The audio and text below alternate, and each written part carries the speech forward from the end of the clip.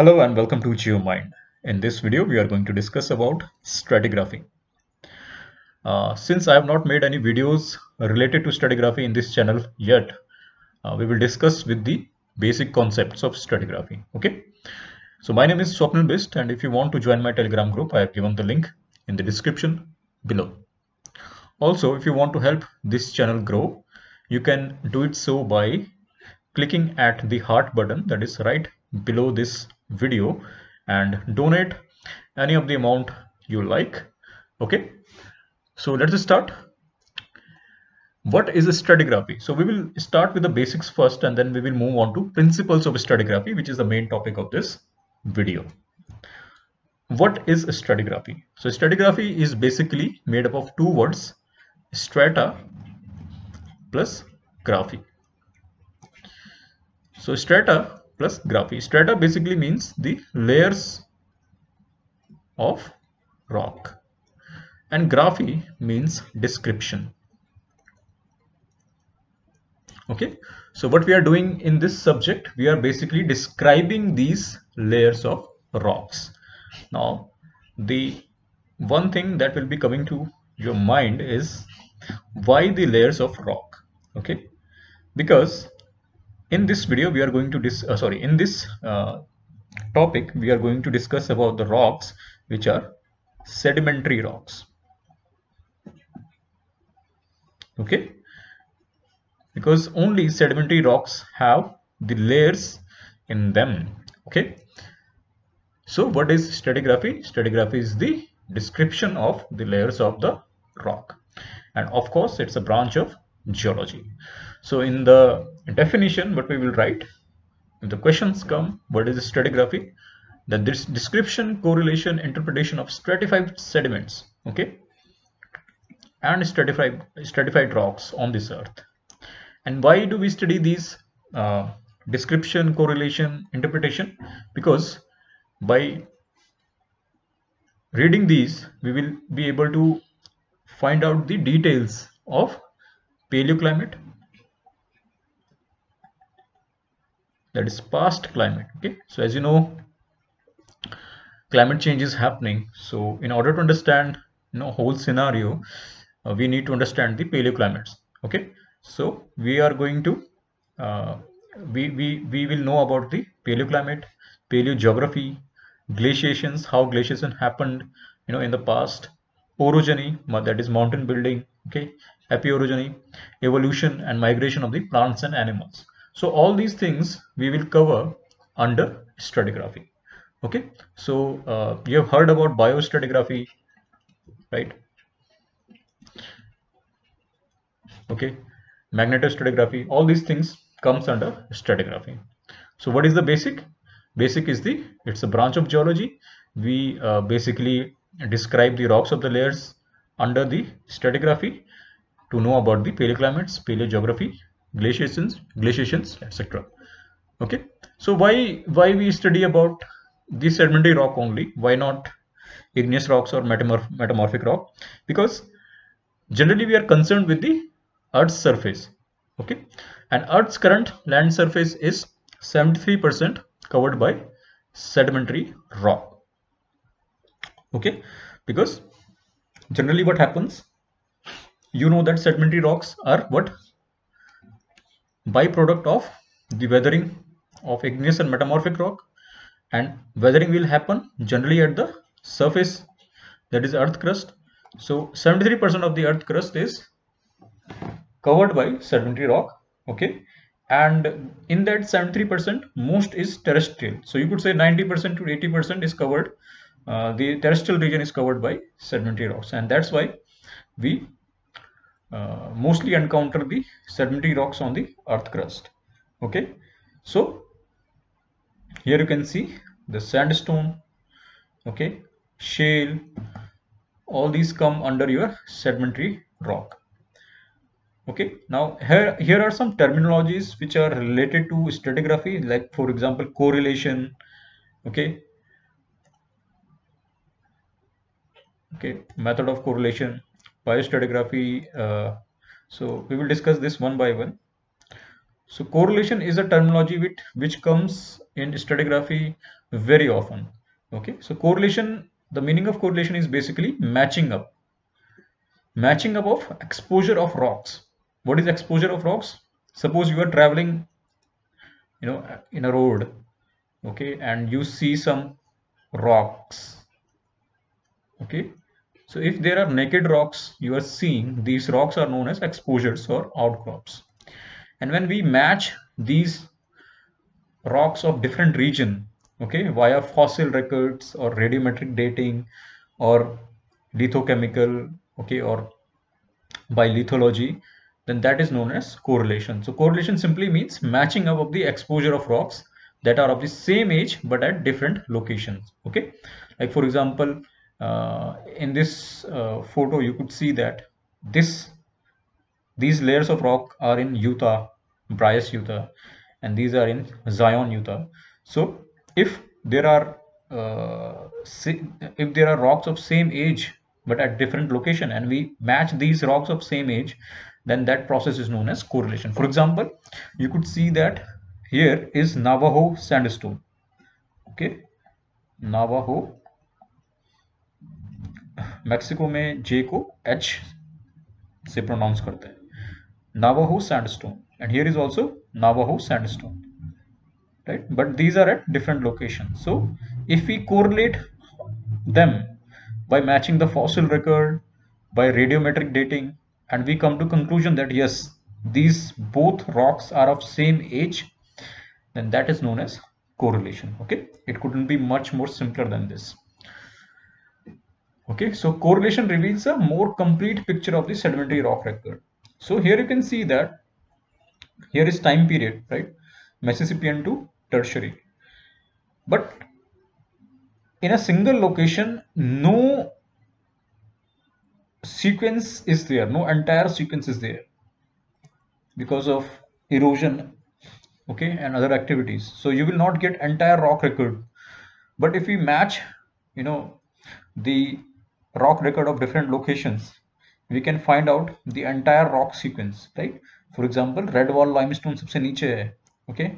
Is at the bottom and Wasatch formation is at the top okay? So by matching by correlating all the rocks rock, rock layers you will find out the complete sequence okay? So that's why correlation is very important right? So this is an example of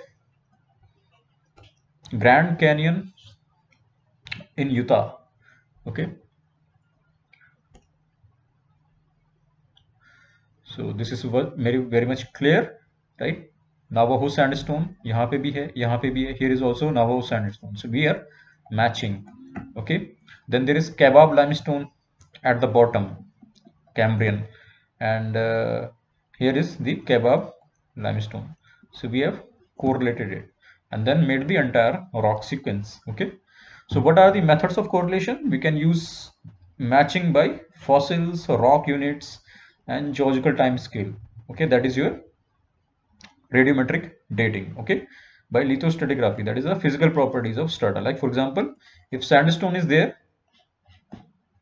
okay we know that it's sandstone or yahan pe bhi sandstone hai dusri location pe. Let's say you are a, one one of you is an mp and one of you is in UP आपको भी sandstone मिल रहा है, यहाँ पे आपको भी sandstone मिल रहा है okay so you are matching this but let say that you are getting a fossil of let say trilobite okay यहाँ पे भी ट्रेलोबाइट का फॉसिल आपको मिल रहा है। So you could say that this might be your Cambrian age right then आपने इसकी रेडियोमेट्रिक डेटिंग की and you say that this is 540 million years old 540 million years old तो आप कह सकते हो कि ये दोनों जो रॉक हैं, वो सेम टाइम पे डिपॉजिट हुई होंगी। Okay so this is correlation and by using fossils lithostratigraphy and time scale you could use correlation okay so this is how we correlate ammonite ammonite okay trilobite trilobite trilobite here is a Uh, question from IIT JAM. An index fossil should have what? so you can comment down below okay? The answer. Pretty easy answer if you are familiar with geology. Okay again this is correlation radiometric dating. We will not go into this. Okay these are some example of radiometric age dating. Okay. This is the stratigraphy of India that we are going to discuss in upcoming lectures. Okay facies is also a terminology which is related to stratigraphy. Facies is basically what? Sum total of features that reflect the specific environmental condition in which rock was formed or deposited. So if a rock is deposited in a certain conditions okay like for example lacustrine lacustrine environment में rock deposit हो रही है। Lacustrine मानी कि lake in lake environment, a sandstone being deposited. And in that lake environment, a particular fauna is also there. And that fauna becomes a fossil. Okay? कोई fossil वो बन गया है। ठीक है?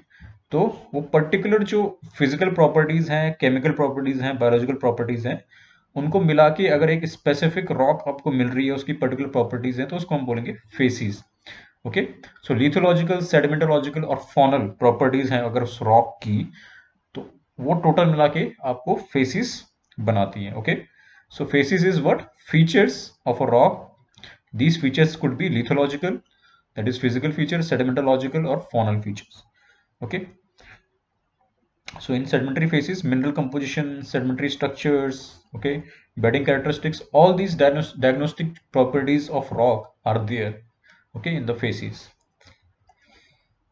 okay so here you can see limestone facies shale facies siltstone facies conglomerate facies okay so these were the basic terminologies related to stratigraphy. Now we will move on to the important points that is your principles of stratigraphy. Okay. Now this topic is very important because it is asked in many examinations okay related to geology. So there are around 12 basic principles of stratigraphy okay 12 so we'll go through them one by one okay so law of uniformitarianism catastrophism law of superposition law of original horizontality law of lateral continuity principle of cross-cut relationship inclusion faunal succession baked contacts conformability unconformities walther's law of facies. Uh, in this, you could see that I have bolded out four principles. These four principles, that is law of superposition, original horizontality, lateral continuity, cross-cut relationship, these are principles that are also known as Steno's principles of stratigraphy. Okay, Steno was basically a geographer or stratigrapher who gave these four principles. Okay. So first we will discuss with uniformitarianism so the principle of uniformitarianism also known as gradualism states that physical processes we observe operating today also operated in the past इसको एक बहुत ही famous phrase है that is known as present is the key to the past it was given by James Sutton a very famous geologist so what it basically means that whatever the physical processes physical processes means whatever the processes that earth is experiencing today like for example volcanism rain tectonism, uh, weathering, right? Whatever the physical processes today are there, okay, change in weather, climate change, uh, change in sea level, okay, these physical processes or geological processes, whatever there was, uh, whatever uh, uh, there are in present day they were also acting in the past okay like for example here you can see in this first image present day mud cracks forming in clay rich sediments okay clay आपकी क्या होती है बहुत ही fine grand जो sediments होते हैं, उनको हम क्ले कहते हैं okay I think one by two sixty से नीचे के जो पार्टिकल्स होते हैं smaller particles less than one by two sixty four M are known as clay so when the when the wet clay dries up it contract and form these cracks these cracks are known as mud cracks so the present day mud cracks are also there and here you can see the ancient mud cracks. Okay, the physical processes are acting today also and acted in the past also. Okay, so this is the first principle. Okay, here you can see volcanism present day वॉल्कनिज्म कहाँ हो रहा है जैसे हवाई में अच्छा खासा वॉल्कनिज्म हो रहा है इस समय ओके हवाई hotspot but you can also see that like for example in india there is deccan plateau which is actually a case of continental flood basalt okay so this also happened in the past around 65 66 million years ago and present day हवाई में भी अच्छा खासा आपका cf भी हो रहा है okay now the second principal is the कैटास्ट्रोफिज्म नाम से पता चल रहा है extinction catastrophic okay so extinction happened primarily during catastrophes such as giant floods and your impacts asteroid or meteoroid impacts okay or very mega earthquakes. So this is known as catastrophism okay. Catastrophes happen on the earth okay. It might not happen often but it will happen okay.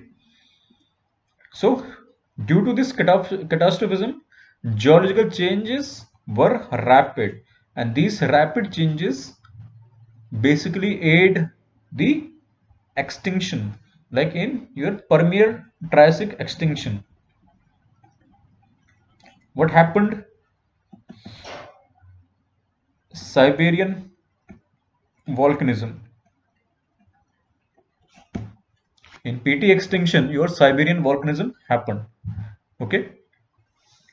So it was given by George Cuvier supported by William Wavell okay like uh, this is a very famous crater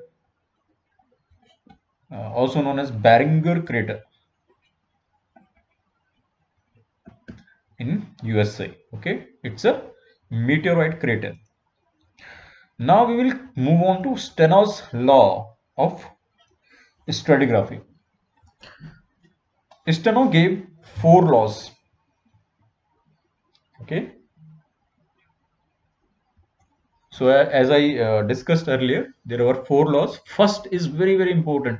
I mean all four laws are important but the first one is called the law of superposition if you are a geologist and if you do not know these laws then it is problematic okay every geologist should know these laws and they are pretty simple to understand okay first is law of superposition law of superposition basically states that if you are seeing any undeformed sequence of sedimentary rock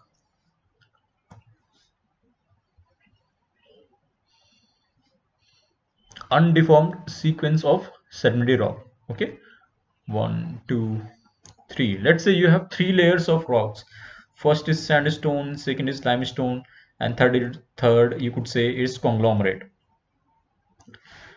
Undeformed means it has not gone any changes like it has not been metamorphosed or it has not gone under folding or faulting and it is horizontal so it says that superposition superposition का मतलब क्या है कि एक के ऊपर एक so it says that the top most layer will always be the youngest layer and the bottom layer will always be the oldest layer. Okay? So youngest and oldest. So obviously time one is, is the old time 3 is the youngest. First the bottom layer was deposited then the middle layer and the youngest layer was deposited recently. The catch here is the undeformed sequence okay अगर deformed होगा तो हो सकता है कि ये rock layer जो है, ये इंक्लाइंड हो जाए, या फोल्डेड हो जाए. Then that will not be the case the case will be only valid if the rock layers are undeformed and horizontal so the oldest layer are at the bottom and the youngest layer are are at the top okay so this you can see then second one is the law of original horizontality. Law of original horizontality. So what it says that layers layer here is means rock layers. Rock layers now inclined must have been deposited as nearly horizontal layers. So what it says is that the rock layers the sedimentary rock layers will always be deposited in horizontal fashion always okay horizontal fashion में ही rock का deposition होगा sediments का deposition होगा if the sediments if the rock layers are tilted or folded it means that these rock layers were once horizontal and due to tectonic forces these rock layers got deformed okay so rock layers will always deposit in horizontal fashion okay this is post deposition then third is law of original lateral continuity what it means is that sediments deposit over a large area in continuous sheet इससे पहले क्या था कि horizontal deposition होगा okay rocks are deposited हॉरिजॉन्टैलिटी horizontally but they are also laterally continuous over a very large area or over a very large region okay so sedimentary strata extend continuously in all direction until they thin out at the edge of a depositional basin or grade into different type of sediment. So what it is trying to say is that there will never be an abrupt ending of a laterally continuous strata until, until and unless there is a weathering of some sort or there is a fault of some sort okay?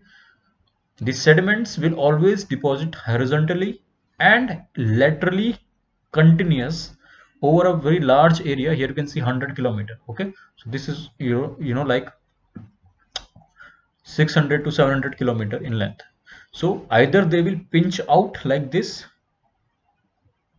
okay or either they will grade into a different sediment like for example here it is sandstone और यहाँ धीरे धीरे grade करके ये limestone में चला गया लेकिन एब्रप्टली कभी भी ऐसे खत्म नहीं होगा okay it will not change abruptly okay so it will deposit horizontally horizontally and as a continuous sheet of sediments over a very large area okay so lateral continuity layers can be continuous over a broad areas when first deposited erosion may later remove a part of that layer for example यहाँ पे कोई river आई ठीक है पहले ऐसे रहा होगा यहाँ पे लेट से अपलिफ्ट हुआ ये सी here a river came. River made this grand canyon or canyon. And if you are you know standing here and you say yeah, yeah you say that this limestone or sandstone whatever the layer is uh, is terminated here. But if you know this law of original lateral continuity you will say that no this must have been deposited laterally over a large area. And the river came and eroded it. Okay. So this is the law of original lateral continuity. Okay. So here you can see the grading into different sediment. Okay. Or pinching out like this. But never it will be like this until unless the erosion happened. Okay. now fourth is principle of cross-cutting relationship this this is very important okay the principle of cross-cutting relationship says that the geological features that cut across the rocks must have formed after the rocks they cut through. But it means that if you have a if you have a you know like these rock layers and you will see that if there is a geological structure or feature which is cutting across this rock this horizontal rock okay? This is the layer and if you see a geological structure or feature that is cutting across this rock okay ये cut कर रहा ना in layer को ये वाला feature this feature right here okay so this feature must be younger one okay so this feature must have formed after the rocks they cut through like for example if there is a igneous intrusion of magma magma intrude kar raha hai it crystallizes into pluton. So this pluton is younger than the surrounding layers of rock okay? Then there is dike. Dike is a sort of igneous intrusion okay which is cutting a discordant body which is cutting across these layers okay? So this dike is younger than these layers okay? Now again if there is a fault which is cutting across these layers okay this layer you can see.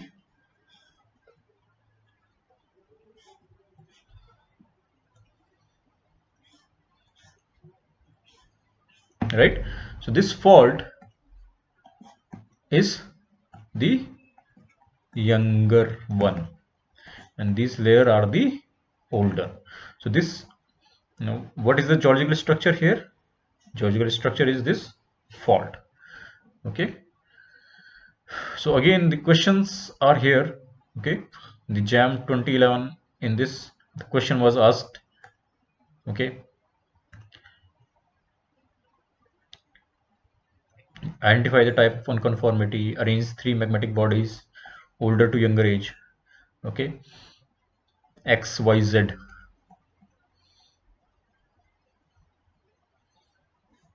Right? Z y. X so by using the principle of cross-cutting relationship you can easily do this okay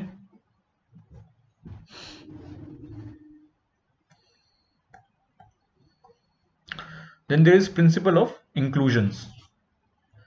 The principle of inclusion basically says that if the rock is containing any sort of inclusions, inclusions meaning uh, like uh, basically rock particles of different origin. Then that is known as inclusion in this uh, terminology okay? So here you can see that this is let's say sandstone that is containing this basalt particles okay these are the inclusions. So what is saying that the rock containing an inclusion must be younger than the inclusion. So if we have a sandstone here and it is containing these particles of basalt then this sandstone is the younger one and inclusion is the older. So this basalt flow is older than the sandstone this sandstone was deposited later later on this basalt okay again here you can see in this the inclusions are the sandstone right if you take this part you will see that inclusion is what sandstone and what the principle says that the inclusions must be older so यहाँ पे क्या है inclusion किसका है? Sandstone का है। यहाँ देखो सैंडस्टोन पे तो किसी का इंक्लूजन नहीं है ना? इंक्लूजन का मतलब क्या होता है कि what inclusion means is that rock is containing wholly fully containing the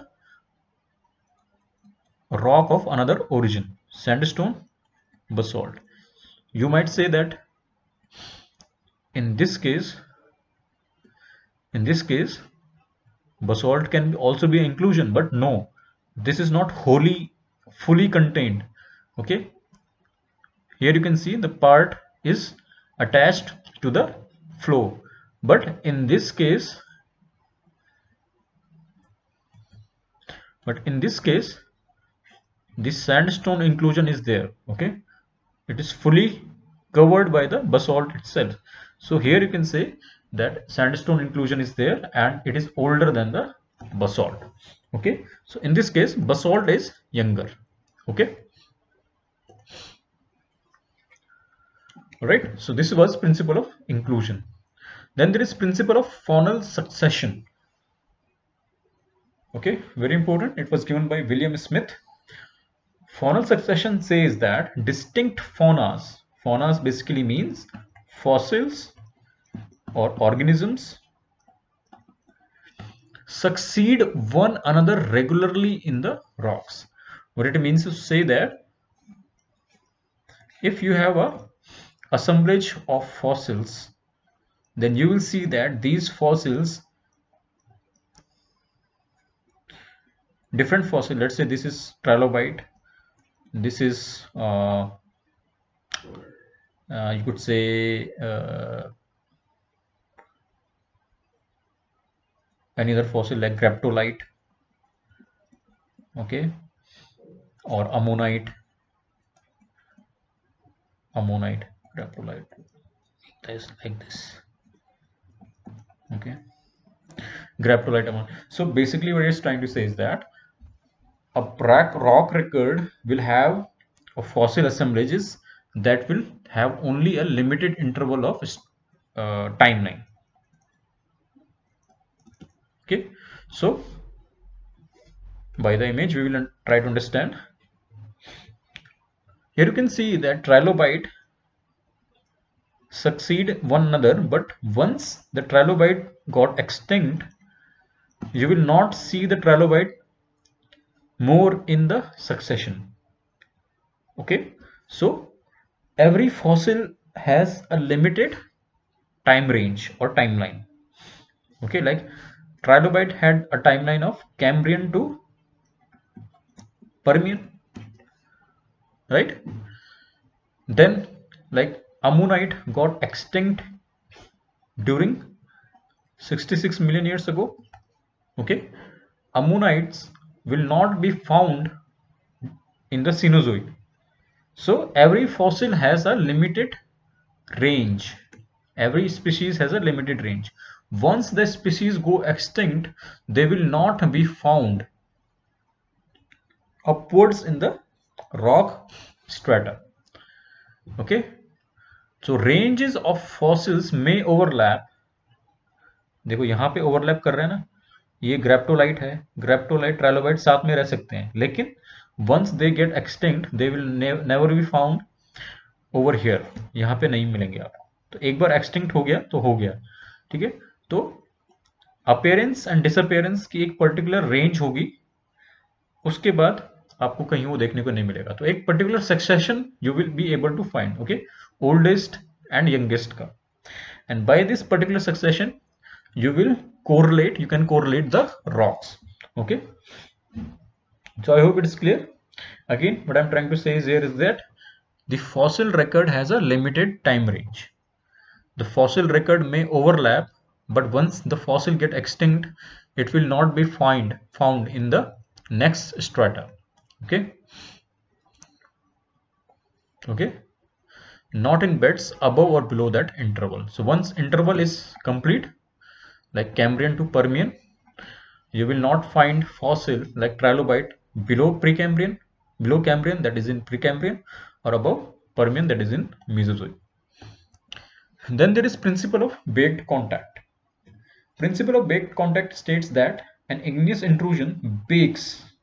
Bakes means it basically burns the country rock. Okay, if there is an igneous intrusion of magma, obviously it will heat up the country rock. Country rock means the whatever rock that is surrounding. Okay, it. So it will bake this side part of the rocks. So the rock that has been baked must be older than the intrusion. It is pretty simple. कि भाई एक आपके पास limestone का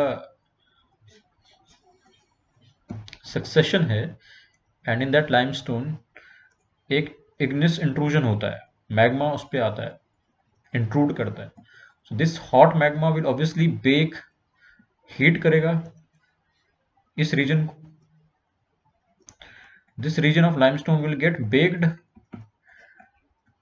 so this baked rock will be older than the intrusion itself this is what the principle is trying to say then there is conformability तो conformability को हटा के सीधा हम unconformability पे आ जाते हैं what is unconformity unconformity is basically a boundary surface between two rocks two rock layer okay one and two let's say this rock layer got deposited in 10 years okay but after 10 years let's say there was a river in between ठीक है ये dip ये deposit नहीं हुआ था तब तक बीच में रिवर आई रिवर लगभग 20 साल तक for 20 years the river flowed here so there was no deposition only erosion after 20 years the river got dried up and then there was deposition of another rock over this layer. So first let's say it was sandstone then limestone after 20 years. So after the boundary represent the 20 years gap of non-deposition. So this gap of non-deposition is known as unconformity. Okay so period of non-deposition possibly erosion is known as unconformity okay so unconformity is what a boundary which which represent a boundary between two rock layers which represent the period of non-deposition non-deposition of what sediments अब non deposition of sediments कैसे होगा possibly erosion के कारण होगा जो मैंने आपको बताया कि भाई रिवर वगैरह जा सकती है या विंड बहुत ज़्यादा होगी ओके ठीक है तो चार तरीके की four basic types of अनकन्फॉर्मिटीज are there angular डिसकन्फॉर्मिटी पैराकन्फॉर्मिटी and non conformity okay so this we will discuss in next lecture okay so this was basic okay basic type of unconform uh, basic principles of stratigraphy uh, i will make a separate video on the unconformities itself so i hope you liked this video okay? If you have any uh, comments or thoughts you can post down below in the video okay? If you like this video or not and if you have any suggestions uh, i would much appreciate it. Till then stay safe and goodbye